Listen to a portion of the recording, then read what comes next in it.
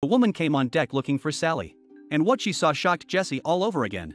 Countless Sallys had been lying here. Jesse wanted to tell Sally the truth. When the sound of a fight came from below, masked Jesse No, 3 on deck, was knocked down by Jesse, who had just boarded the ship. He was thrown overboard. That's when Jesse realized, she tried to stop the ship. She couldn't. Soon after, she witnessed Jesse number 2, and also met a new round of Jackie. To stop the cycle, she dragged Gray's body out, and wrote a message on the mirror. Then she dragged Gray's body to the deck, and threw it into the sea. Jesse went to the ballroom, finds a new round of Gray and Sally, tells them to meet the others at the opera house. The new Gray and Sally arrive at the theater. Vic saw the masked man. He prayed that she wouldn't hurt him. He was surprised to find the masked man. The masked woman was wearing the same shoes as Jesse. The woman woke up. She woke up on a beach in a small town. Jesse rushed home. When she got home, she saw her baby. She thought the cycle had finally ended. Then she realized she was someone else.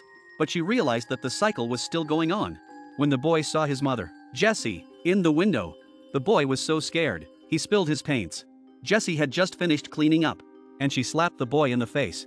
Outside, Jessie was in a state of remorse. She decided to change everything. Jessie went to the door and quickly rang the bell. Then she went to the back of the house to the storage area. She found the hammer. Inside the room, Jessie came to the door. She didn't know what was going on. When she rushed back to her room, she was quickly struck by a blow. The boy was horrified by the sight. Jessie told him it was just a dream.